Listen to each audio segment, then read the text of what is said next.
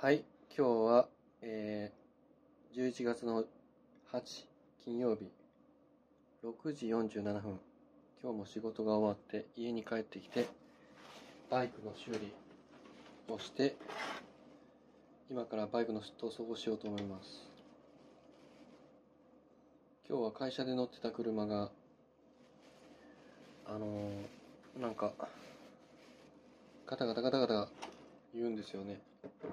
だからちょっと立て付けが悪いなと思ってその辺も直してそれから家に帰ってきました。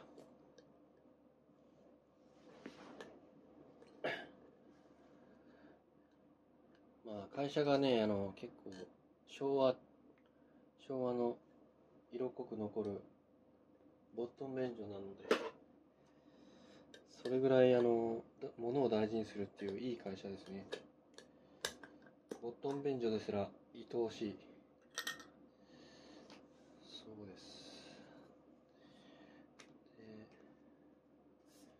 で今これからちょっと色を塗ってきます。今使ってるのはこれダイソーで買ったハケなんですけど。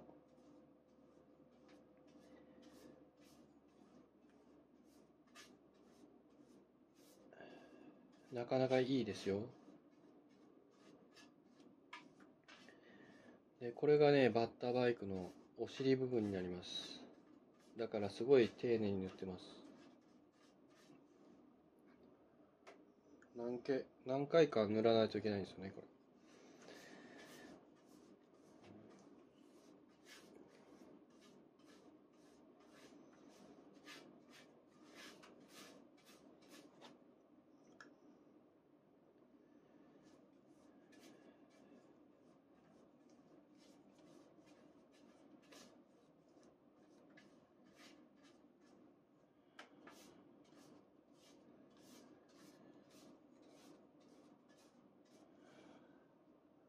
どうですかね結構綺麗に塗れてますかねよかったらコメントくださいね。チャンネル登録もよろしくお願いします。これから頑張ってバッタバイクと共に生きていきたいなと思います。40年間の思い出がいっぱい詰まってますね。バッタバイクには。小さい時にね、バッタバイク、仮面ライダーブラックの最終回かな。シャドウムーンに追突した時にリアルタイムで見てたんですけど、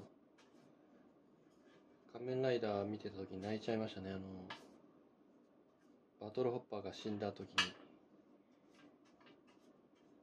その時に、母親が隣で見ててくれて、励ましてたのか、なんか、笑ってたのか、ニコニコ励ましてくれたのか、まあ、ちょっと覚えてないですけどね。その頃のことをはっきり覚えてます。覚えて、覚えてないって言ってるけど、はっきり覚えてますね。なんか大丈夫よっていう感じだったと思うんだ。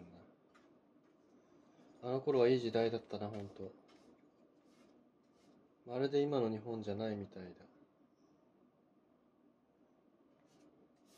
夢も希望もあったし、毎日朝起きて学校に行ったり幼稚園に行くのが楽しかったね。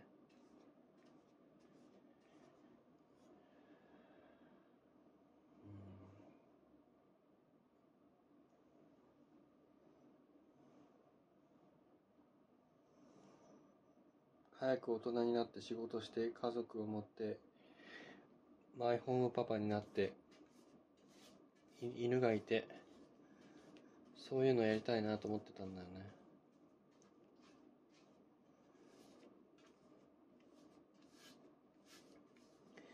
でも現実は違うよね。今実際自分がそうなってみるとそうなってないし。そんな時にやっぱり原点に帰って元気をもらいたいなっていうことで作ろうと思ったんですそのきっかけがやり始めようと思ったきっかけはそうですまあこれは僕が作ったんじゃないんですけどまあ、塗ってるだけです。これはちょっと別の人がね、作ってくれたんですよ、この形には。すごい人です。師匠。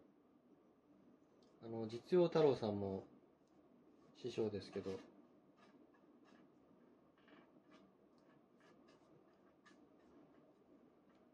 その人がジムに、あの、昔乗ってて、まだ覚えてるんですよね、僕も。その時のジムニーのことは。うわかっこいいな本で見たジムニーだと。うん。まあ今日はここまでですかね、この辺で。終わります。よかったらチャンネル登録よろしくお願いします。また明日も放送できたらやりたいと思います。それでは、バイバイ。また見に来てください。じゃあおやすみ。もう僕は寝ます。明日草刈りなので寝ます。